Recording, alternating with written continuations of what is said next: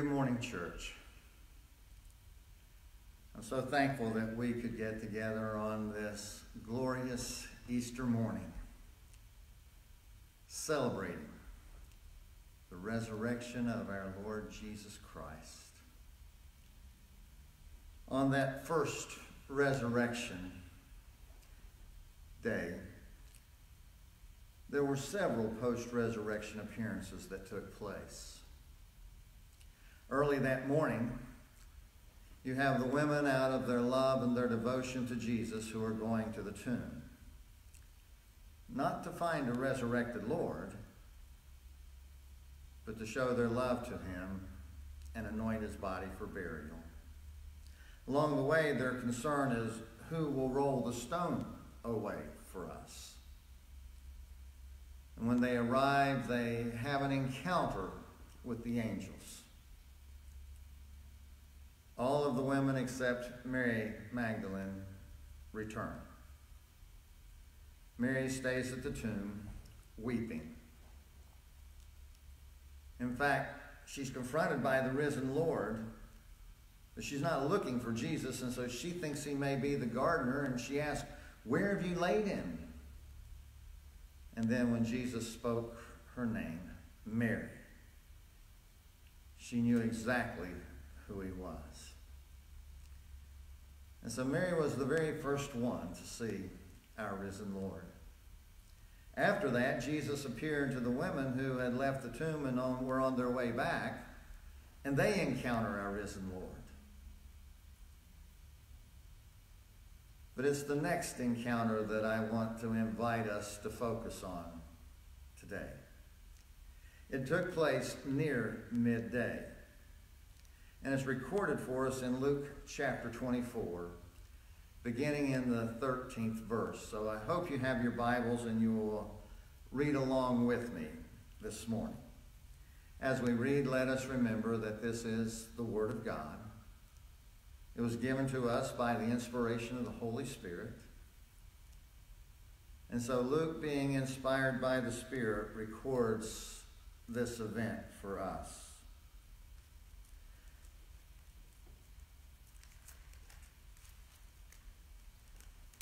Now, that same day, two of them were going to a village called Emmaus, about seven miles from Jerusalem.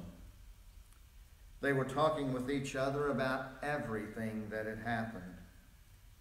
As they talked and discussed these things with each other, Jesus himself came up and walked along with them, but they were kept from recognizing him. He asked them, What are you discussing together as you walk along? They stood still, their faces downcast. One of them, named Cleopas, asked him, Are you only a visitor to Jerusalem and do not know the things that have happened there in these days? What things? he asked. About Jesus of Nazareth, they reply. Now, I have to admit, I love this. They're now telling Jesus about his crucifixion. He was a prophet, powerful in word and deed before God and all the people. The chief priests and our rulers handed him over to be sentenced to death, and they crucified him. But we had hoped that he was the one who was going to redeem Israel. What is more, it is the third day since all this took place. In addition, some of our women amazed us. They went to the tomb early this morning, but didn't find his body. They came and told us that they had seen a vision of angels who said he was alive. Then some of our companions went to the tomb and found it just as the women had said. But him they did not see. He said to them, How foolish you are, and how slow of heart to believe all that the prophets have written. Did not the Christ have to suffer these things and then enter his glory? And beginning with Moses and all the prophets, he explained to them what was said in all the scriptures concerning himself. As they approached the village to which they were going, Jesus acted as if he were going farther. But they urged him strongly, Stay with us, for it's nearly evening. The day is almost over. So he went in to stay with them. When he was at the table with them, he took bread, gave thanks, broke it, and began to give it to them. Then their eyes were opened and they recognized him, and he disappeared from their sight. They asked each other, Were not our hearts burning within us while he talked with us on the road and opened the scriptures to us? They got up and returned at once to Jerusalem. There they found the eleven and those with them assembled together, and saying, It's true, the Lord has risen and appeared to Simon. Then the two told what had happened on the way and how Jesus was recognized by them when he broke the bread. Let's go to our Lord in prayer. Oh Lord, we come before you today asking that your Holy Spirit will take this word and speak to our hearts. Lord, we pray that you would illuminate our minds. We ask that your Spirit will guide and direct us into truth and that you will open this word up to us. I pray right now for each one who is watching, Lord. Just asking that your Holy Spirit will work in a mighty way, preparing each heart for what you would have us to hear. And it's in the precious name of our Lord Jesus that we pray. Amen. When I read that story, I love that powerful conclusion. Were not our hearts burning within us while he talked with us on the road and opened the scriptures to us? As we reflect upon this passage, for me, I think there are two burning questions. First is, why did their hearts burn within them? And the way they describe it, the second question I would have is this something that we can experience? Can our hearts burn within us? And the answer, I think, is obvious that it all begins with Jesus. So, what did Jesus do on the road? Well, he talked. But I think we need to understand that this was not just any man who was talking with them. This is the one who is risen from the dead. This is the one who speaks with all authority. In fact, that was one of the hallmarks of Jesus' ministry. Right from the very beginning, we read the people saying they were amazed at his teaching because he taught them as one who had authority, not as the teachers of the law. And then after his resurrection, just prior to Jesus' ascension, he highlights that truth once again to his disciples in Matthew 28 when he says, All authority is given to me in heaven and in earth. And so this is not just any man. This is the Son of God. This is God incarnate. This is God in the flesh. And this is our resurrected Lord. So, does that mean we cannot experience what these two men on the road to Emmaus experienced? Is the Emmaus experience something that is exclusive to these two men? Well, Jesus, the one with all authority, answers that question. In fact, he answered that question on Thursday evening when he was in the upper room with his disciples. Jesus had a lot to say to his disciples that evening. And in John, he records this Jesus said, The Holy Spirit, whom the Father will send in my name, will teach you all things. See, that means that we have the Holy Spirit to instruct us, to teach us just as Jesus taught these two disciples. In fact, Jesus went on and he said, But when he, the Spirit of truth, comes, he will guide you into all truth. And so, what I think we really have here on the road to Emmaus is a prelude. What Jesus is doing for these disciples is what the Spirit of God will do for us. It's what the Holy Spirit will do in our lives. And so the answer is yes. We can experience what these two disciples on the road to Emmaus experienced. Our hearts can burn within us. And so the next question would be what did Jesus talk about? And they said, He opened the scriptures. In verse 27, it says, beginning with Moses and all the prophets, he explained to them what was said in all the scripture concerning himself. Jesus taught them what the Old Testament had to say about him.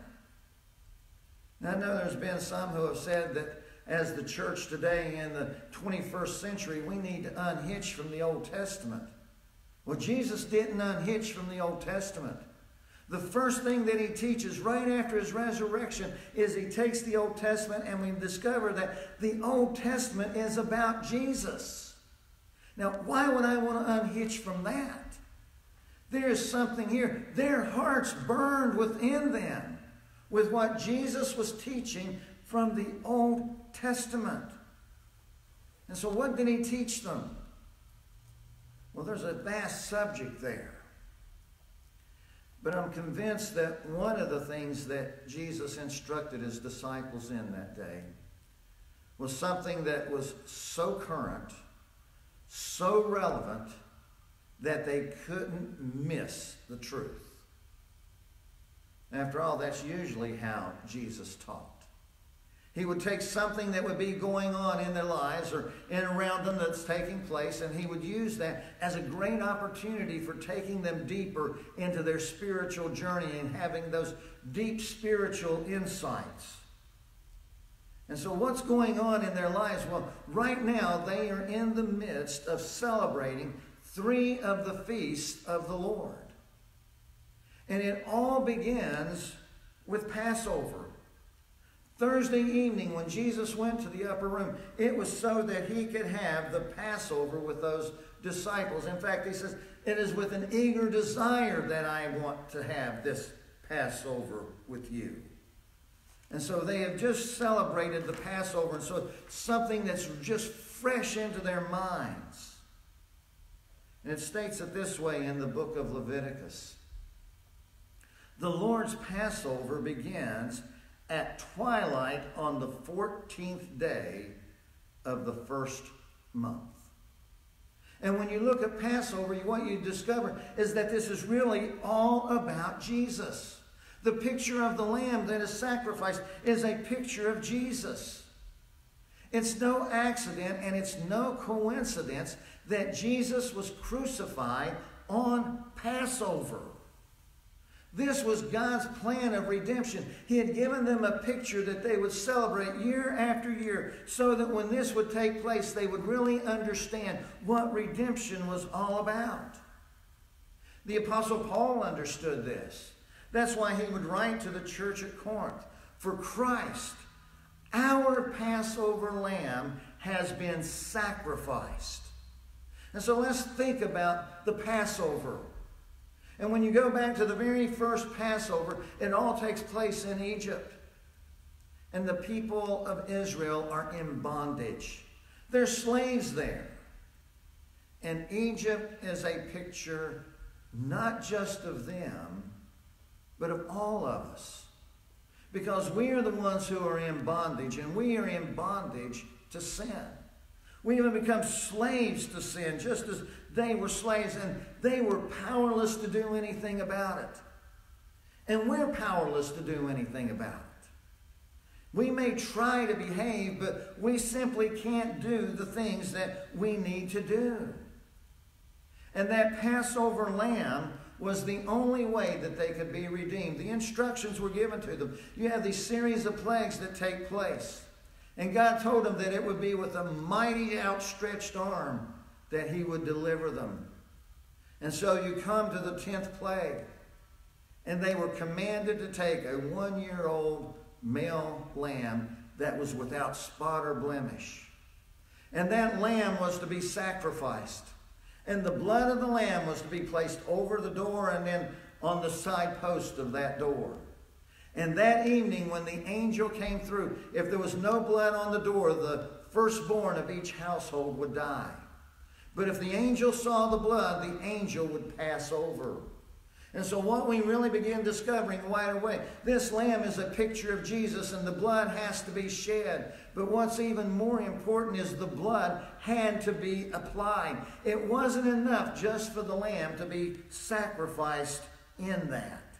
And that's why when Jesus first began his ministry, before he even calls his disciples, He's walking along the Jordan, and John the Baptist sees him, and he identifies Jesus as the Lamb of God who takes away the sins of the world. And so God's plan of redemption begins with the shedding of blood. And unless you know Jesus as the Lamb, you'll never fully understand the Passover unless you know Jesus as the Lamb of God who takes away the sins of the world, you'll never experience God's deliverance from that bondage of sin. And so God's Passover is an invitation to us to be his guest at the feast of redemption.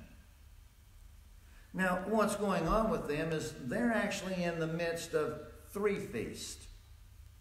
And so immediately following Passover is the feast of unleavened bread. As you read about this in the book of Leviticus, it says, on the 15th day of the month, now remember, Passover was at twilight on the 14th day of the month, and so he says, on the 15th day of that month, the Lord's feast of unleavened bread begins. For seven days you must eat bread made without yeast. And so, beginning the day after Passover, they were to celebrate for one week the feast of unleavened bread. Now, here's what you discover taking place in that. Not only was the blood of the lamb shed, the blood of the lamb was applied, and then they feasted on the lamb. Moses gives the instructions to the people in the book of Exodus in chapter 12. And here's what he says to them the animals you choose must be year old males without defect, and you must take them from the sheep or the goats.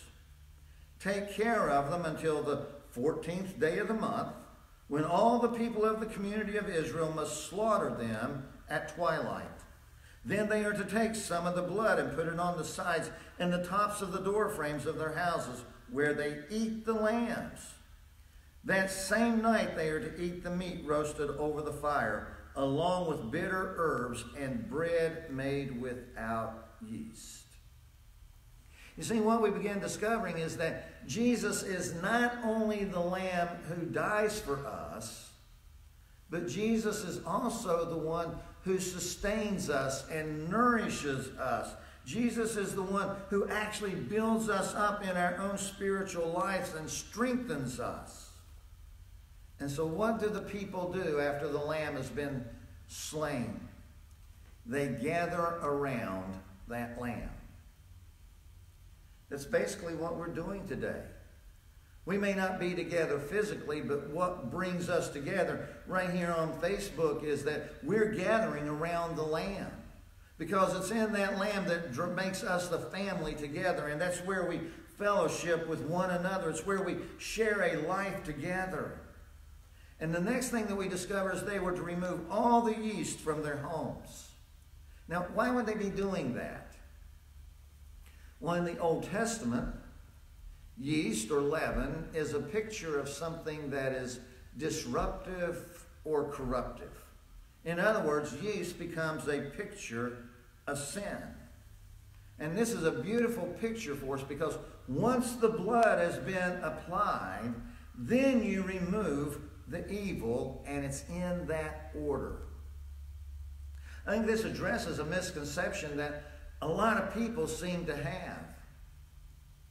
I've had several people through the years that have mentioned something like this to me. You know, I'm going to get my life straightened out and then I'm going to come to the church. Well, first of all, this isn't about church, so that's a big misconception. But the other part of that is you can't get your life straightened out.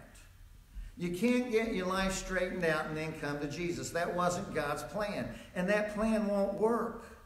You come to Jesus, you experience His cleansing through His blood, and then He begins straightening your life out. The leaven or the evil or the sin is removed from our lives after we come to know Jesus Christ. See, that was God's plan. You apply the blood, and then God will straighten our life. Now, right in the midst of this feast of unleavened bread, there is a third feast, and it is the Feast of First Fruits. Now, I want us to see if we can get the picture here, because it says in the scriptures, on the day following the Sabbath, after Passover, they celebrated the Feast of First Fruits. Now, did you get that? Let's look at it this way. We have these three feasts, and so you have Passover that takes place, and on that week, it was on that Thursday evening at twilight that the Passover began. And so then he says, on the day after the Sabbath, after Passover. So you have Passover and then you have the Sabbath. That's Saturday.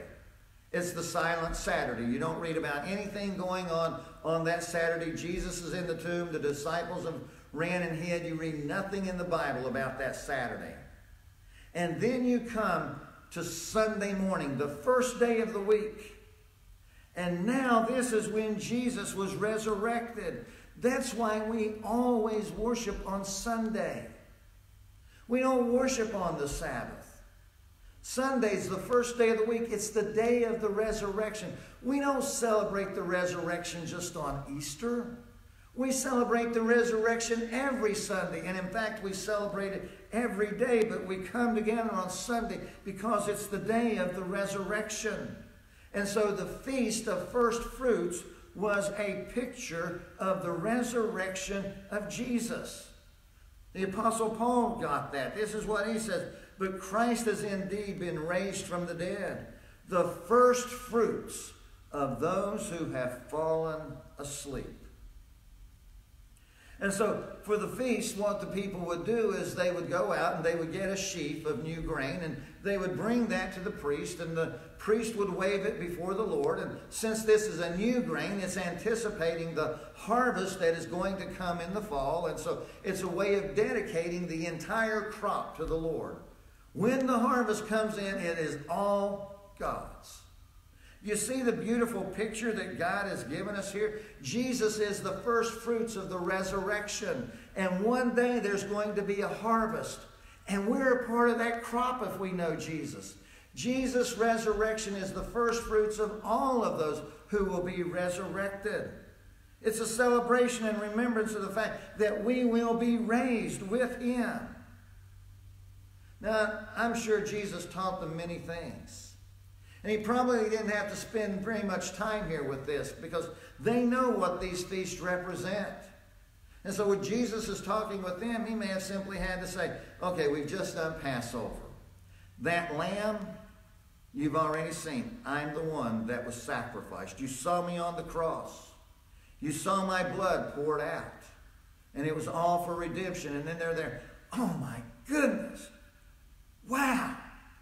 And then he tells them about the feast of unleavened bread. And now that the blood has been applied to your life because of me, your sin has been removed. And now we're going to straighten all this out. And they're going, Whoa, why didn't I see that?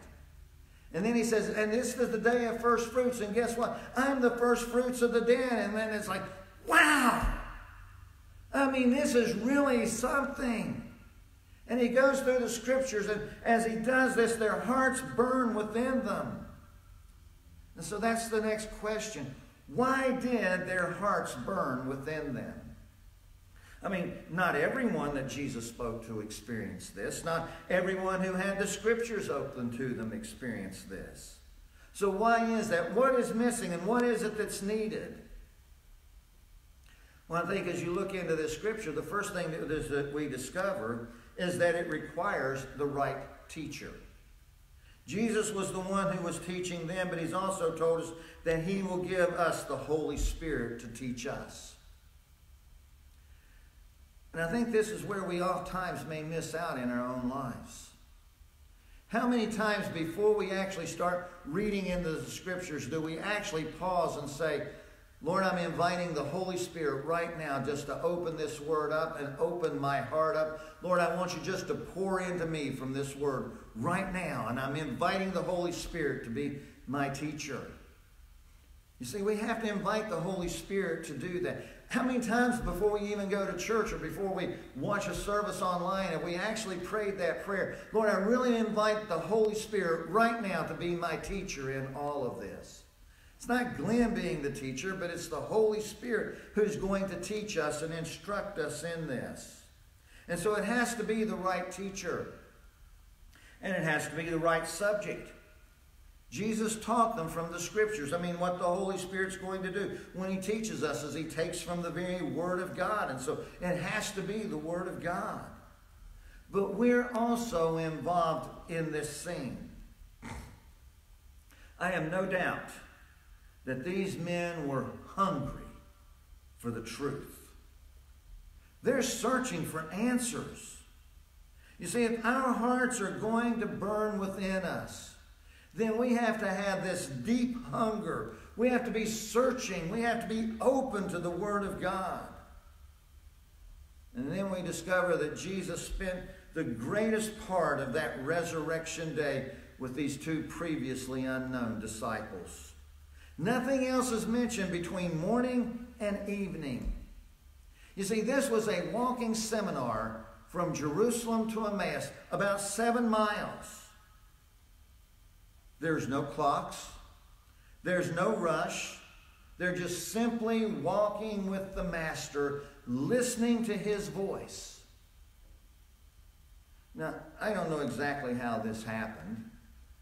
But this was their main mode of uh, transportation. These people are used to walking. It doesn't take all day long to walk from Jerusalem to Emmaus. Now, I know for some of us, seven miles sounds like a long ways to walk in a day. But for them, that's not a long journey. And I think what's going on is they're walking along with Jesus is just what we saw at the beginning of this passage. When Jesus says, What things? And then they stopped. And I can just see this. Jesus is teaching them along the way, and then he says something, and they can't even think about walking anymore. They just stop, and they stand there, and they're listening to everything that Jesus says. And then they begin continuing their walk with this seminar, and then Jesus will say something else, and then they just have to stop and listen. You see, there's no rush. It's just simply spending that time with Jesus and letting him instruct them. So, what is it that makes our hearts burn within us? And it's when the truth of God's Word suddenly becomes so clear, so relevant, so real, so intimate, and so personal that we're overwhelmed, we're overjoyed, and we're consumed by it. It's when you have this desire for more. You want more of Jesus. You want more of His Word. You want to be more devoted to Him. You want to be more obedient to Him. You just want more and more and more.